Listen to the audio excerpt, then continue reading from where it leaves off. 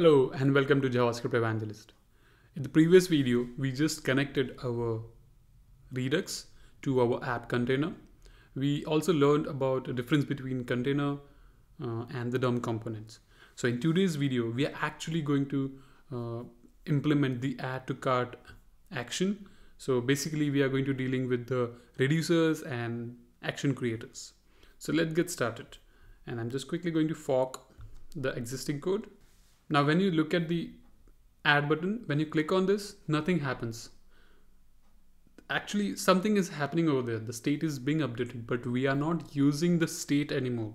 We are using the Redux store, right? So we are going to implement actions which will dispatch a certain action which reducers will listen to.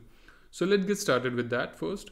So if you look at the products, and so basically products is a child of app container which is a smart component all right which is going to receive which is already receiving products. So products is assume just a network request where you are receiving all the products from a network all right? And cart is not aware of all these uh, uh, products all right? Now simply what we are going to do is we are going to pass the cart to the products as well so let's just quickly do that and I'll tell you why we are going to do this.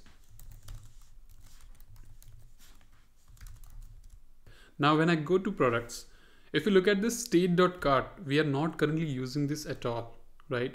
So we are going to use the cart from the Redux, right? And uh, which is going to be uh, used over here.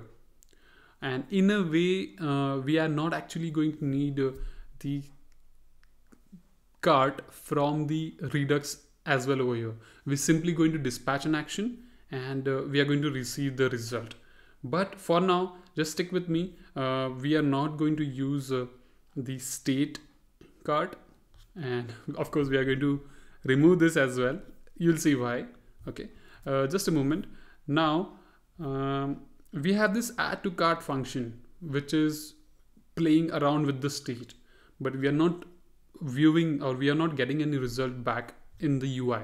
So let's get started and create an action first. Okay, so we are going to create an action inside our Redux folder. We have an actions folder and I'm going to create a file called cart action because this add to cart is specifically related to the cart. Okay, over here I'm going to have a uh, type name for our action. I'm going to call this as add to cart okay. And I'm of course as well going to uh, export this. And I'm going to have a function over here which is again going to be exported. I'm going to call this as add to cart action which is going to return you a type of the action which is add to cart. And it is going to return you the payload. Now you might be wondering who is going to use this. So this action is going to be consumed inside our cart reducer, which is this action it is going to consume over here. All right. So whenever we are going to call this function, we'll see how to connect it to the reducer later on, but let's just stick with me for creating an action creator. Okay. So what is an action creator? This is an action. We are going to create an action now. You'll soon see that. So this is simply just a function returning a type and a payload. So what is the payload? So payload is the exactly uh, this cart item. So basically every time, of course, our cart doesn't know anything about products, right? So there is no way for our cart to get all the products, right? Simply what we are going to do is every time we are going to pass an entirely new product to our cart. So that is what we are going to do over here. And every time our add to cart action receives an entirely new product and we send it as a payload. All right, so this action has been created, but this is not connected to the connect. So we are going to pass this to our products, which is going to call this action from over here. Okay, so we can simply connect the connect over here to the products, but that would be a bad pattern. Why bad pattern? because inside a container you should not have another container you can have but you should not have okay so inside our app, which is already a smart component, which is already a connected component, it should not have another smart component. So a smart component cannot have another smart component. You can have, but please stay away from it. Okay. Now inside products, we are simply going to receive that action as a prop. So how? Let's see that now. Okay. So we are going to have a function over here called map state map action map actions to props and it is simply going to receive something. Let's see what it is going to receive. All right, I'll just as well change this to props. Okay, so this props, when we pass it to the connect over here like this, as a second argument, it receives an argument called dispatch. Okay, so this dispatch is is the method which creates an action into an action creator. Okay, so we are going to simply do that, but there is another additional function that we need to pass it over here to the return. So that is provided to us by Redux. So that is called bind action creators from Redux. Okay. And if you just Google it, bind action creators Redux, you will be able to read more about it. I just Googled it just for fixing my spelling. Okay, it is action creators. Okay. Now we need to call this bind action creator over here like this, and we need to pass our functions. Okay. So this function is going to be the reducer uh, it's going to be the action that we created. So that is add to cart action and we are going to import it over here. Okay, add to cart action is being passed over here to the bind action creators like this. You can add more actions over here. Now this action needs to be bind to this dispatch and that is what this bind action creator comes into place. And we just simply pass it over here, right?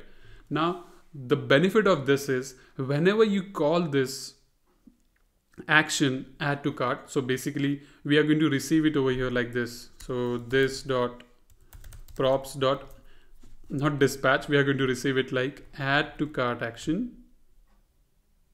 Okay? Add to cart action. Okay?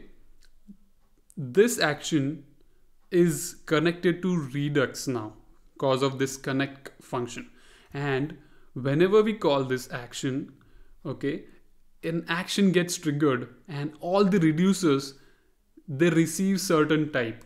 And we are going to handle that over here later on okay? So now let's just simply call this function okay? Add to cart action. And we already have props over here. So add to cart action. It is the same as this name. You can even change this to let's say add to cart as add to cart action. But I like to stick with the same similar names. So add to cart action is available over here from this props. Now I'm going to simply pass it over here. Okay, we are we don't need the cart anymore. Okay, you'll see why. So inside products, whenever I'm going, okay, I'm simply going to call instead of updating the state, add to cart state. Okay, so we are just simply going to call this dot props dot add to cart action, which needs a product which is this product. Remember? So our product like we remember right? When we created this action we are needing a product over here right? So we are just doing that. We are sending a product to our add to cart action. And all this functionality which you see over here is now going to be handled inside our reducers. So when i mentioned to you before that when we call this add to cart action all the reducers okay? So all the reducers that means whichever reducers are inside this combined reducer they will listen to this dispatch action okay? Now we are going to listen to that. So let's say whoever is listening to this action okay? Let's just add a switch case over here. And action dot type which we have it over here like this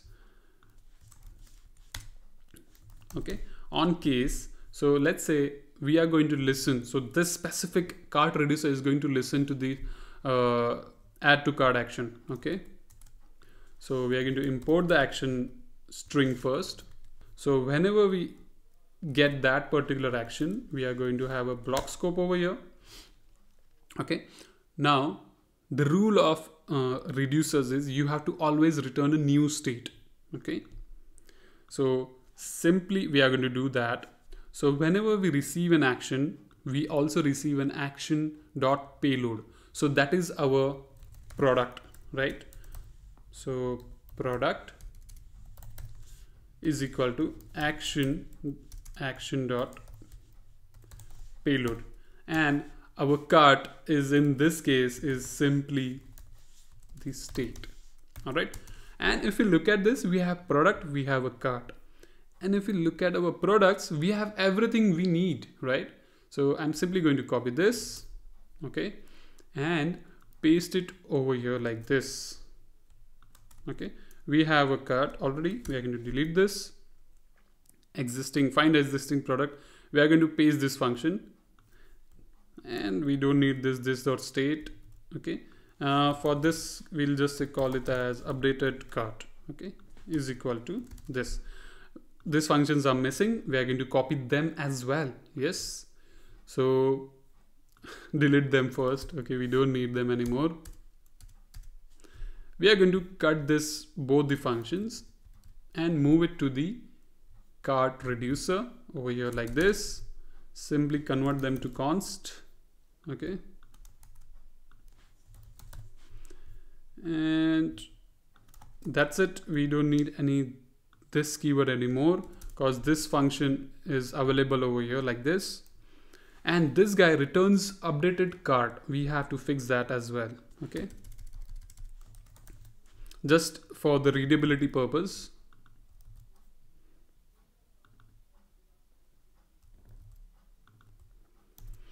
All right. and we have the updated cart over here. And as I mentioned before we have to just simply return a new state. So if you look at the state so this is our new cart right? So we are going to return that now.